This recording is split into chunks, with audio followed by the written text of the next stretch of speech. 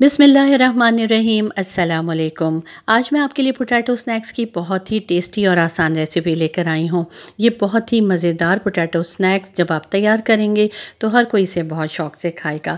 इसमें जो बेसिक मसाले डलते हैं वो हर घर में मौजूद होते हैं और अगर आपके पास आलू भी मौजूद हैं तो आप झटपट ये पोटैटो स्नैक्स बनाएँ और घर वालों को खिलाकर दाँत वसूल करें। तो चलिए इसे बनाना स्टार्ट करते हैं। इसके लिए जिन जिन चीज़ों की ज़रूरत है वो मैं आपको नोट करवा देती हूँ, लेकिन उससे पहले हमेशा की तरह अगर आप मेरे चैनल पर नए हैं और आसान रेसिपी सीखना चाहते हैं तो इसे लाइक और सब्सक्राइब करें बेल आइकॉन को प्रेस करें, ताकि नई वीडियोस का नोटिफिकेशन आपको टाइम से मिल जाए। कमेंट सेक्शन में कमेंट ज़रूर दें और मेरी वीडियोज़ को ज़्यादा से ज़्यादा शेयर करें। ये मेरे पास मीडियम साइज़ के चार आलू हैं, जिनके मैंने छिलके उतार कर इन्हें अच्छे तरीके से धोकर खुश्क कर लिया है।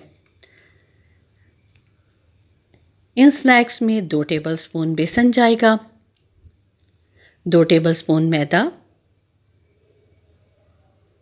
एक अंडा, एक टेबलस्पून बारीक कटा हुआ सब्ज़ धनिया और दो सब्ज़ मिर्चें उन्हें भी बारीक काट लें। इसके अलावा इसमें कुछ खुश्क मसाले जाएँगे, वो आप नोट कर लें। वन टीस्पून नमक, वन टीस्पून सुरख मिर्च का पाउडर, हाफ़ टी स्पून हल्दी पाउडर, क्वार्टर टी स्पून अजवाइन, वन टीस्पून सफ़ेद ज़ीरा, half teaspoon chaat masala one teaspoon पिसा हुआ धनिया और वन टीस्पून कसूरी मेथी। सबसे पहले एक खाली बोल ले लें और उसके ऊपर इस तरह का ग्रेटर रख दें। ये हर घर में ग्रेटर अवेलेबल होता है। आप इसकी मदद से अब इन सारे आलूओं को ग्रेट कर लें। ये देखें, मैं एक एक करके इन आलूओं को ग्रेट करूँगी और इस बोल में डालती जा रही हूँ। ये पोटैटो स्नैक्स बनाना बहुत आसान है, जो कि बहुत क्रिस्पी बनकर तैयार होंगे। ये देखिए, मैंने सारे आलू इस तरीके से ग्रेट कर लिए हैं।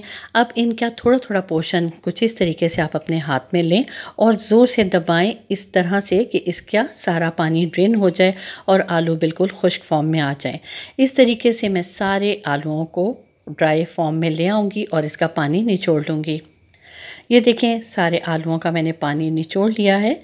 अब आपने इस पानी को बिल्कुल भी वेस्ट नहीं करना। ये बहुत ज़बरदस्त किस्म का टोनर आपके पास आ गया है। आप कोई साफ़ कॉटन इसमें डिप करें, इसे अपने चेहरे पर अप्लाई करें। आपकी स्किन पर मौजूद दाग धब्बे दूर हो जाएँगे और स्किन भी सॉफ्ट हो जाएगी। ये देखें, मैंने आलूओं को इस तरीके से इस बोल में वापस डाल दिया है, जो कि बिल्कुल खुश्क फॉर्म में है। अब इसमें सारे मसाले डाल दें। मसाले डालने के बाद आप इसे मिक्स करें और बकिया चीज़ें भी इसमें ऐड कर देंगे।